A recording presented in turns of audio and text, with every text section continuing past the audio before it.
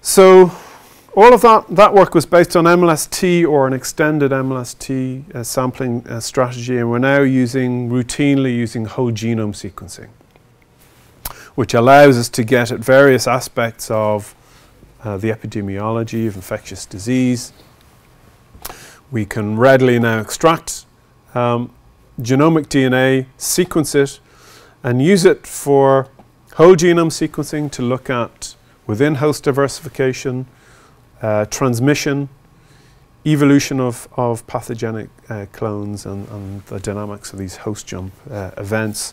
We can also use these new sequencing technologies to look at the transcriptome, so we can look at gene expression analysis, and we can also apply it uh, to a number of other procedures, particularly uh, powerful procedures such as transposon sequencing, which allows us to identify genes which are important for survival of bacteria in a particular uh, environment or, or host.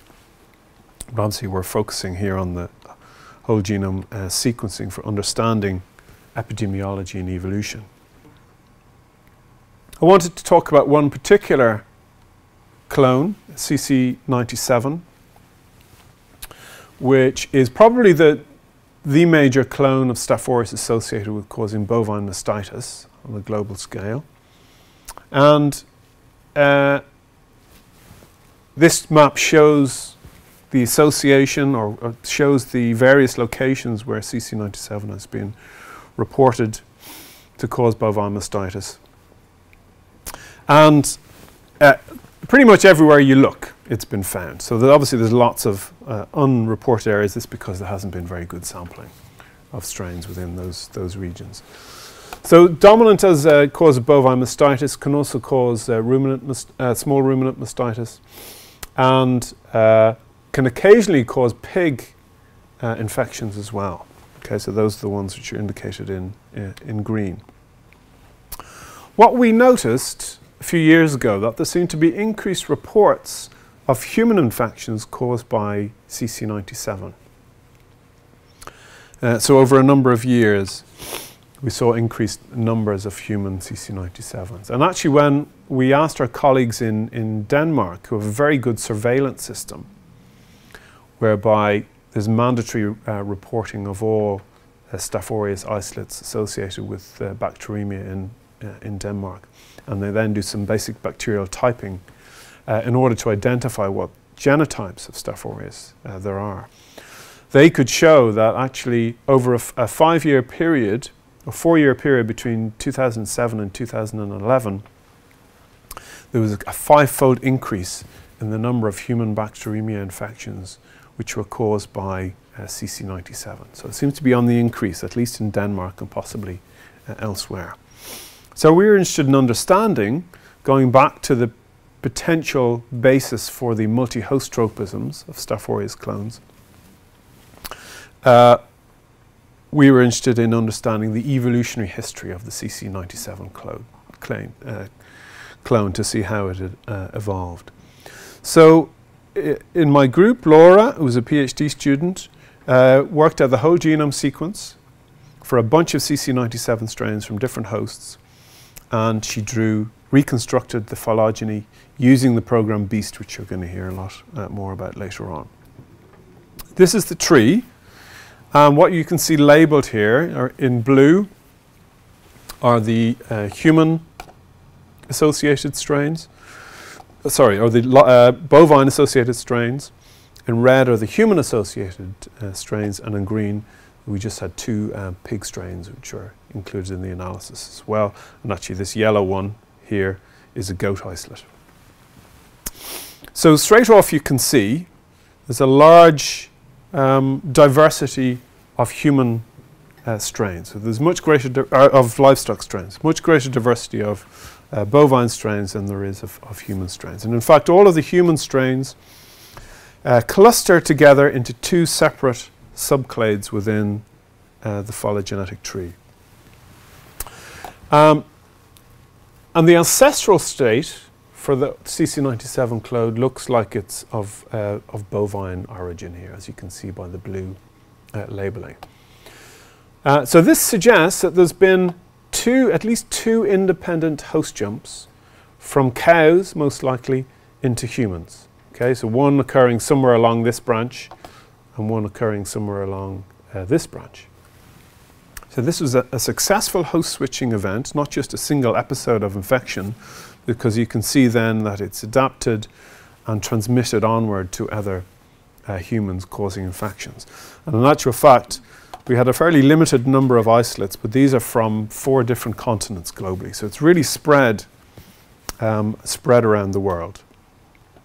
This clade B here, representing the, the second human clade, is uh, much, much more geographically rest restricted, but has also been found in multiple countries. Yes?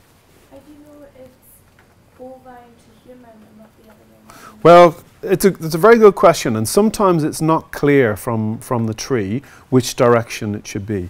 And the reason we infer this is because there's, uh, the ancestral state based on this tree is predicted uh, to be bovine. Okay, so all of the diversity that we see amongst the bovine strains is, is contributing to this. So if you essentially go back in time, predicted time through the tree, what we predict is that this position, position here on the tree was bovine. This was also predicted to be bovine here. So therefore that would infer that the direction is going to be from uh, bovine into human. Okay, well we can only do that because we have a root uh, on the tree, so we can infer what the ancestor of all of the strains in, in the tree is. Okay. So, so that's that. So this um, indicated to us for the first time that cows can be a reservoir for new strains of, of Staph aureus which uh, can colonize and spread in, in human populations. So that's probably something we need to be aware of and to have some kind of effective surveillance to try and spot these events when they happen. The other interesting thing, I think, that we found from this analysis, this is just this is another form of, of the same tree.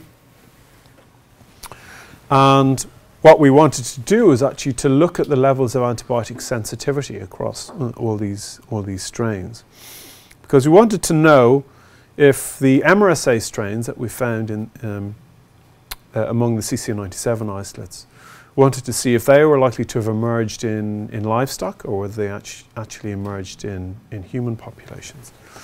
So we can see that a lot of the, you don't need to see the detail on this, but I take it from me that there's quite a lot of uh, antibiotic resistance represented among the human isolates. Uh, so you can see here penicillin uh, resistance, also oxacillin, which is the marker for methicillin uh, resistance. Okay, so quite a lot of these are MRSA. None of the bovine strains were MRSA.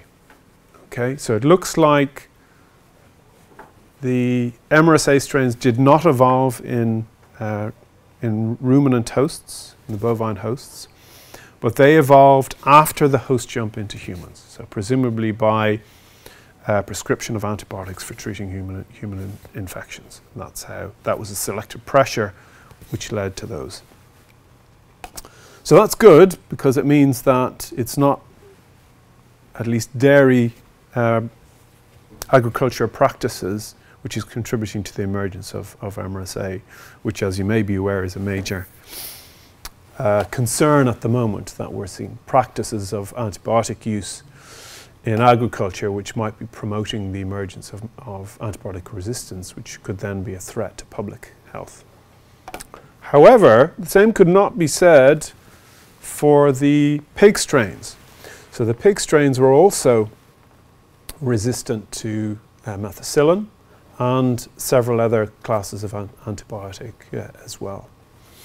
So it looks like, uh, and these are slightly different types of genetic elements which are encoding for the methicillin resistance in the pigs versus the humans. So it looks like this is independent evolution of MRSA in, in pig strains rather than in the human strains.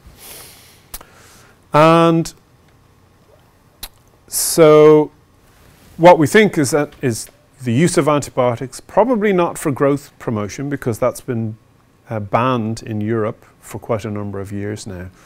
But there's been probably an escalation in the volumes of antibiotics that have been used for prophylactic uh, treatment of, of infections within that industry. And this has seen the emergence of MRSA. In some cases, then, these pig strains are then causing zoonotic infections of, of humans uh, and then causing problems in, in the treatment of those uh, infections in, in humans.